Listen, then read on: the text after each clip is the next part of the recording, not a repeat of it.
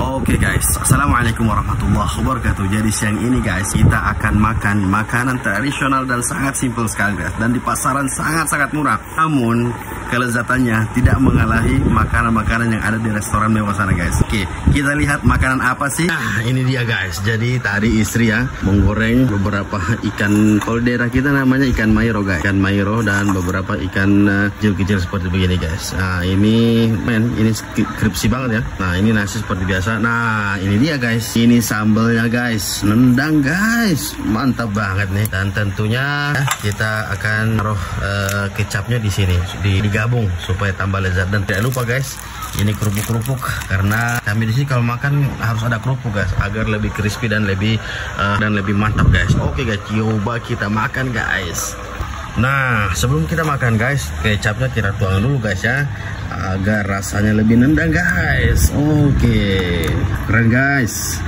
Wah, luar biasa ya, supaya tambah gurih dan nikmat. Allahumma barik lana razaqtana qina azabannar. Amin. Nah itu tadi doa makannya sudah dibaca oleh anak kami ya. Jadi kita coba. Nah kita cocol dulu ya ikannya Dan kita coba.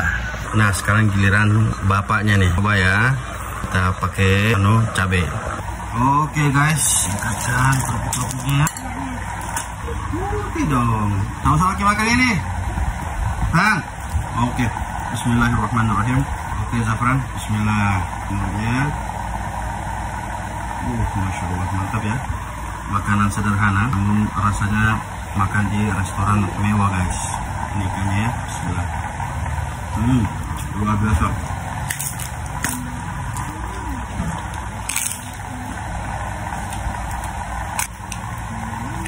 Oke, ternyata anak belum cuci tangan.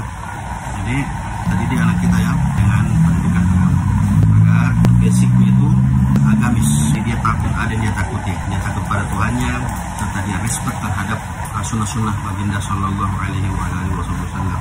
Sebagai contohnya tadi sebelum makan Dia berdoa dulu tadi ya. Jadi hal-hal yang seperti beginilah Yang kadang kita lupa Luput ya untuk ajarkan kepada anak-anak kita.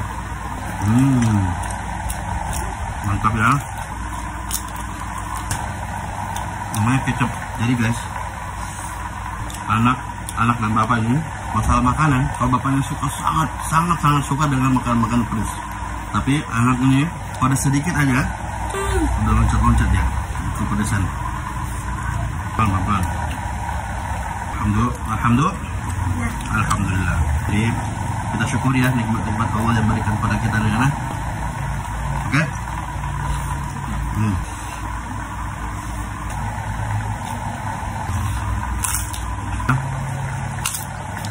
kalau teman-teman makan dengan sepiring berdua nggak? Kayak kami ini bukannya untuk menghemat piring ya tapi kadang-kadang kedekatan antara suami dan istri suami dan anak istri dan anak itu akan terbentuk ketika melakukan hal-hal yang bersama.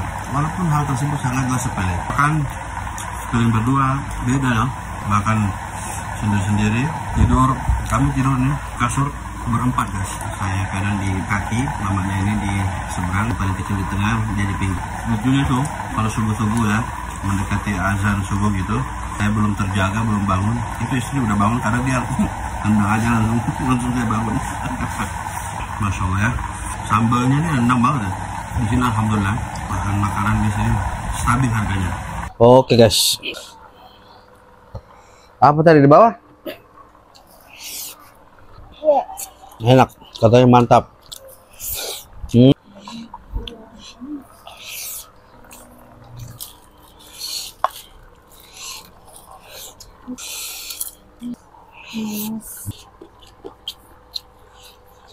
Hmm. mantap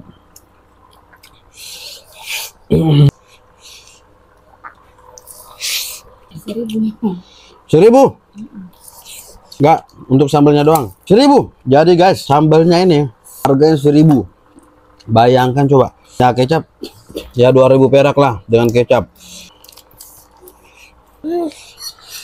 Ah, mulai dia, mulai kepedesan. Lebih pedas nih. Air es. Hmm, hmm. Sabar. Udah san, bagi coba di bapak ambil. Ambil tuh. Tunggu